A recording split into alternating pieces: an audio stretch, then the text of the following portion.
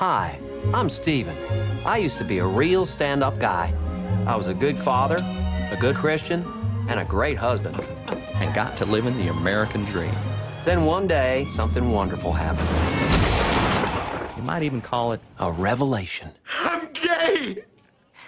You're what? I'm gay. Yeah, Gay, gay, gay, gay, gay. I wanted to give everything money could buy. Cash or charge? Oh, wow. So I had no choice. I became a con man. Oh, I can't believe I slipped on cooking oil. Your check.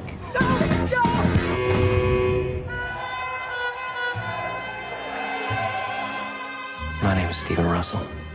Nice to meet you, Steven Russell. My name is Phillip Morris. You are the sweetest, most gentle man I've ever known.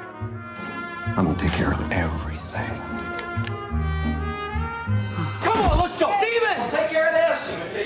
But I had a plan. We're always gonna be together.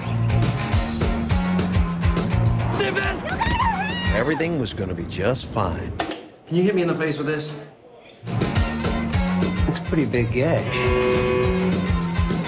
Honey, I know you're upset, but we love each other. You're not even a fucking lawyer, are you? Fucking lying! You were supposed to protect me.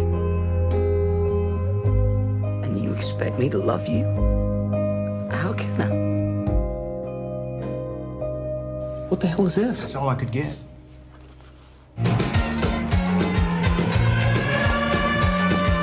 Fucking vice, man.